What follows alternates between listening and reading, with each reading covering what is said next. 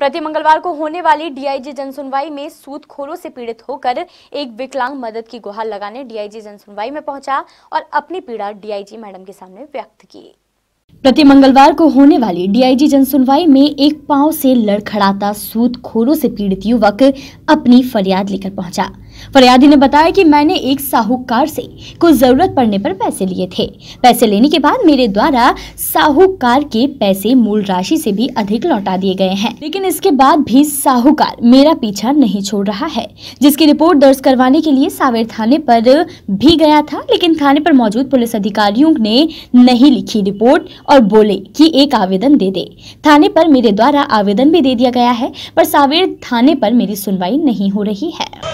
सूदखोरों के खिलाफ आया था आवेदन देने। सावर थाने पर गया था आवेदन देने। वहाँ पे सुनवाई नहीं होती हमारी। दो तीन बार गया। और बोलते कि हाँ कर लेंगे। बिना देन देन काम चलता नहीं बोले। तो हमारी कुछ व्यवस्था करो। हम तुम्हारी व्यवस्था करेंगे। हमारा ध्यान रखो। हम तुम्हारा ध्यान रखेंगे। सामने वाले को बुलाते हैं। उसके साथ गले में हाथ डालते चाय वाय पीते होटलों पे। और मेरे को बिठा रखते और वापस घर पहुँचाते बोले, जाओ। हम देख लेंगे मामला। दो बार चला तीन बार जा चुका हूँ। तीन बार। उसके बाद में भी नहीं। अभी तक मेरी कोई सुनवाई नहीं हुई। थानेदार जी से मिले थे टी आई साहब से? टी आई साहब से मिला था। और एच डी ओ पी महोदय? एच डी पी महोदय से मिला था।